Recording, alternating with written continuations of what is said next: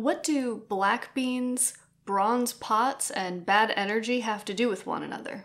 Hey friends, happy May. Spring is in full effect, and we've just passed the Celtic holiday of Beltane or Bealtaine, which is typically celebrated on or around May 1st. Bealtaine is one of eight holidays celebrated in the traditional Celtic calendar, the Wiccan calendar, and various other spiritual and magical traditions. And it has a lot of different aspects to it, including the thinning of the veil. So, what's that? Celtic tradition describes that liminal space between realms, especially the realm of the living and the realm of the dead, as a veil. It is thought that at certain times of the year that veil becomes thin, which allows for communication between realms, which otherwise would have been, if not impossible, at least very difficult to achieve. So one of the times of the year is Samhain, or you know, we celebrate it as Halloween, and the other is Bealtaine. So at the beginning of May, it is said that the realms are easily accessible, the veil becomes more porous, and so you get a lot of activity having to do with the dead and the ancestors and so on and so forth. So, why am I bringing this up? Well, it turns out that the Celts were not the only ones who associated the month of May with the dead and the ancestors. The ancient Romans celebrated a festival during this month called the Lemuria, or the Lemuralia, and the purpose of this festival was to contact the dead for specific reasons that I'll get into in this video. So, what was the Lemuria? What rites were celebrated during this festival, and who participated? And most importantly, why was this a festival at all? In this video, I'll be talking about the history of this festival and its rituals, and a little bit of the reasoning behind the tradition.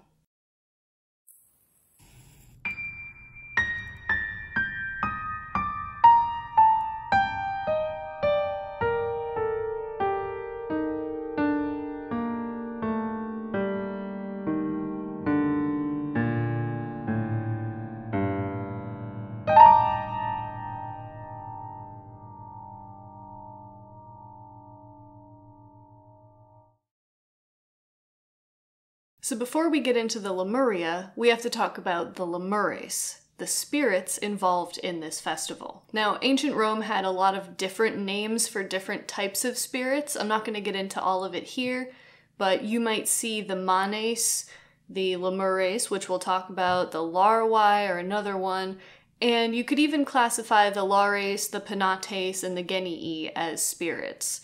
So, all these different types of spirits, but this festival had to do primarily with the Lemures. The Lemures are not just any spirits. Specifically, they are vengeful spirits, the spirits of those who died an untimely death um, or a violent death, maybe those who were not given proper burial rites, and who are basically walking on this realm, this plane, the world of the living, because they don't have access to the afterlife or because they have some unfinished business to take care of. This is one consequence of improper burial is you get these hauntings, you get these ghosts that cannot move on because they haven't been taken care of properly. So, this is why the Romans made such a big deal about burying people in the right way with the correct rituals and the correct offerings and all of that, to ensure not only that their loved ones would be able to move on in the way that was most natural and desirable, but also because you don't want to be haunted. And if there are spirits that have not been able to pass on, well, where are they? They're in your house. um, so when the Romans talk about haunted houses, which is not very common, but they do occur, this is what they're talking about, is these Lemures spirits. Now, all of these spirits are formless. They don't have a figure. They're not like anthropomorphized. You probably can't see them, although that's a guess on my part. And like I said, they are liminal. They exist kind of in this in between space between the world of the living and the world of the dead. So, if you think about the afterlife journey in Greco Roman mythology and Etruscan mythology and so on, there is a definite journey, a route that you have to take. It, it's a spatial journey. You go from point A to point B. So if you don't get to point B, you're somewhere in the middle. That's where these lemures exist, is in this sort of in between space.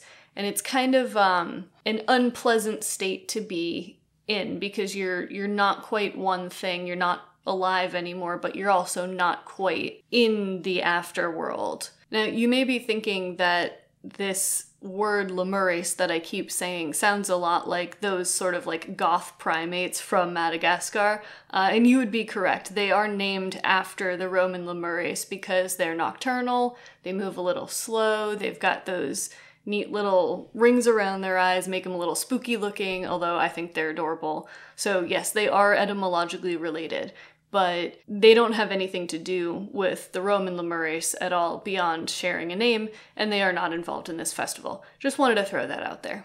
Okay, so the festival of Lemuria is also called Lemuralia, just alternate names for the same thing, and it takes place, as I said, in the month of May. Now, it's a little bit unusual because it takes place on three days, but not back to back.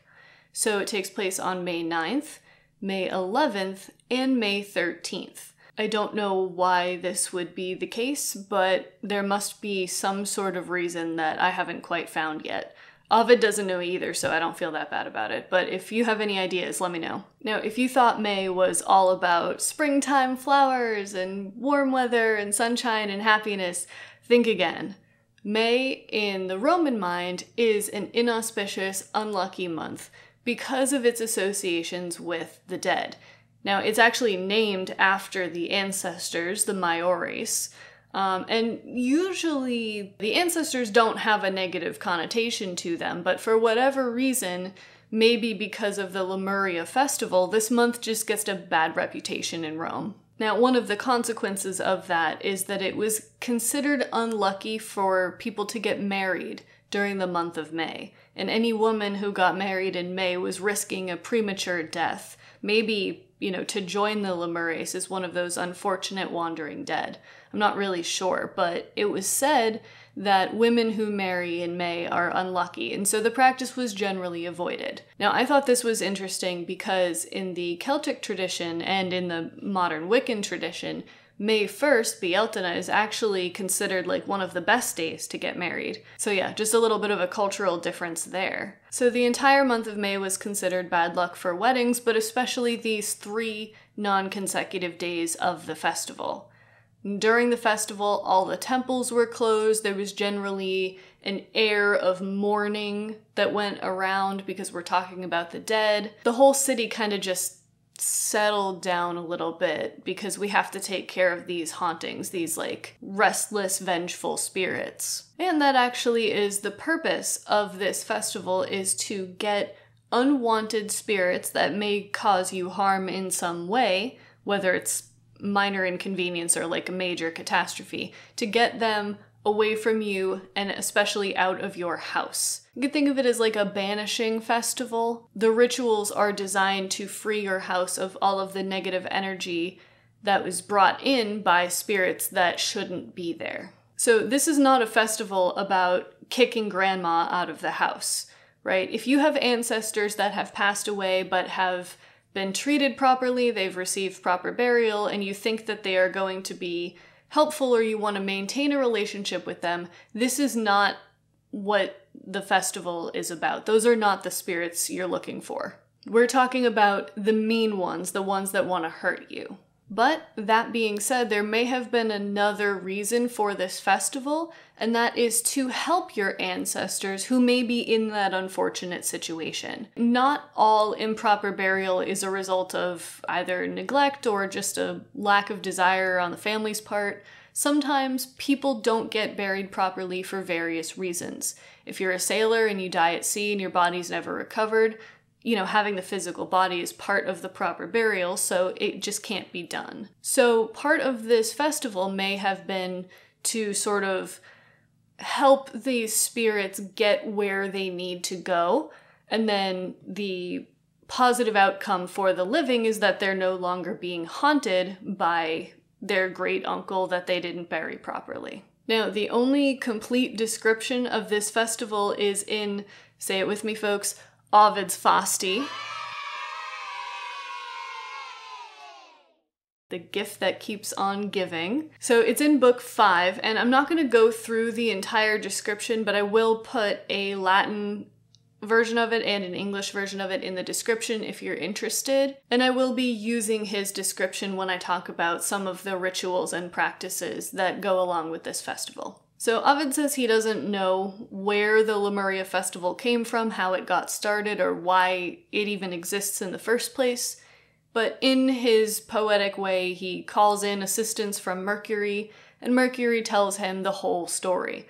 Now, I should note before I tell this story, this is just Ovid's theory, and it doesn't really come up anywhere else, so this may be one of those times that Ovid is just filling in a gap. So, anyway, he says that this festival originated with Romulus and Remus, the twins who founded Rome. Romulus ends up killing Remus, and as a result, Remus is one of those unfortunate souls who died an untimely and violent death, especially um, because it was at the hands of his own brother, his twin brother. So, as you can imagine, his spirit is not very happy about this. So, he proceeds to haunt Romulus, and then Romulus sets up a festival called the Remuria, and then Ovid says that they didn't like the name, so they just changed it to the Lemuria. Whether or not this is the actual origin of the festival, there are some interesting thematic parallels between the Romulus and Remus story and the Lemuria festival. We've already talked about Remus being killed, so his death is untimely, violent, at the hands of a family member but it also brings up the notion of not doing right by your family members, especially your deceased family members. So, in the case of Romulus and Remus, Romulus's murder of his brother, followed by the neglect of his ceremony afterwards, is the reason why Remus's spirit is unappeased. In the Lemuria festival, the spirits that you're dealing with are not just random spirits that somehow wandered into your house. They are your ancestors that have not been pleased with the way that you've been treating them. Whether that's lack of burial rites, general neglect, you know, failing to give them offerings, failing to include them in important family milestones. You know, like I've said in other videos, the ancestors and their images were generally brought to weddings and other funerals and stuff like that. So if you've been neglecting that, maybe grandma's gonna be upset with you and she's gonna come back and haunt you. So these are the spirits that we're talking about. So the Romulus and Remus story may have like a symbolic connection to it, even if it's not the actual origin of the festival itself. Alright, so let's talk about the main customs. Now, the primary activity of the Lemuria festival would take place in the household, and each family would do it individually. And in fact, not even the whole family would be involved because the ritual would be led or carried out entirely by the pater familias. So the ritual takes place at night, and the first thing that the pater familias has to do is to wash his hands in spring water. This is a ritual purification. This is fairly common among all cultures, having some sort of like pre ritual purification. A lot of times, water is considered to be purifying, so this is the first step. Now, as he's washing his hands, and in fact, as he's carrying out the whole ritual, the pater familias would look down, right? He wouldn't look at anything around him, he'd keep his eyes down. And this is to avoid making eye contact with any unfriendly spirits. He would also do a gesture with his hand that involved like putting his thumb in like his closed fingers. I don't know like what exactly it would have been like, whether it was like this or like this, or I'm not entirely sure. Um, if anybody has any thoughts about that or knows more, I'd love to learn. But there was some sort of protective warding gesture. Once all of that preparation was done, then the ritual could begin. The paterfamilias would take black beans and either throw them behind him or spit them out of his mouth, again, not looking, right? So eyes down, throwing the beans or spitting them out of his mouth without making eye contact with any spirits. And then he would bang pots together. I get Ovid says bronze, but I imagine whatever cooking pots you had, and would go around the entire house doing this. And this was supposed to get rid of any unhappy ancestral spirits. So the black beans were probably an offering to the spirits in order to appease them. And then banging the pots together was probably designed to scare the spirits away. So you've got a little bit of a carrot and stick method here, where on the one hand, you want to appease any spirits that might be angry with you by giving them an offering, but then also scaring them out of your house because you just don't want them there. So Ovid lists two incantations or maybe prayers that the paterfamilias would recite as he's doing this. The first is Haec ego mitto, his redimo meque meosque fabis. And that translates to I send these away, maybe send the spirits away. With these beans, I redeem me and mine. So the verb here is redimo, um, and it can be translated a bunch of different ways, some or all of which I actually think might apply in this situation. Typically, it's translated as redeem in English, and this can mean in the sense of like redeeming a coupon or redeeming in the sort of grander sense of redemption. It can also mean to buy or purchase, maybe to buy a little bit of freedom, a little bit of peace and quiet in your household. I don't know, maybe I'm making a leap with that one. It can mean to save or rescue, it can mean to ward off or avert, get rid of. And lastly, it can mean to atone for a wrong that has been done all of these, I think, have their own place in this ritual. Um, so, redeem kind of covers everything, but I really like this sense of atoning for a wrong because that is one of the themes of the festival, is making sure that an injustice, whether or not you carried it out, is made up for, and the spirits are able to get past this roadblock in their journey to the afterlife. So that's the first incantation, and the second one is much more simple.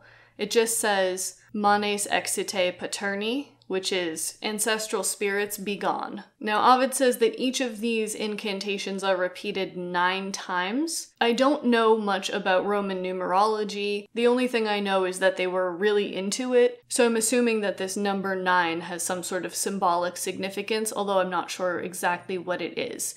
Again, if you know, please let me know. And that's the main activity of the festival. So once the paterfamilias would complete this ritual, theoretically the spirits would be gone and the family can be more at peace, knowing that there's nothing haunting them any longer. Like I said before, it's essentially a banishing ritual, or you could stretch it a little bit and say it's a house cleansing ritual. So if you were going to celebrate this in modern day, I would say maybe if you're gonna blend it with like modern witchy wisdom, maybe do this ritual and then follow that with like a a warding or a protection or something on your house. That would be my guess, like the best way to do this. I don't there's nothing in the literature that I've seen that has like a, a follow up to this ritual where it's like a protection ritual for the house, but I would guess that maybe that's included somewhere. But yeah, if you wanted to celebrate it, that would be my advice. And that's all I've got for you today. Uh, there's not a lot of information about this ritual. Like I said, Ovid's version is the only complete description of the activities.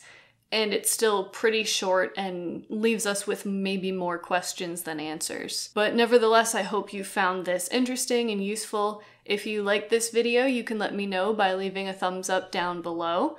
And if you want to see more stuff about Greco Roman belief, religion, mythology, uh, magic, anything to do with that, I'm posting videos like this on my channel all the time, so feel free to subscribe if you'd like to see more. Thank you so much for watching. I really do appreciate you, and I will see you in the next video.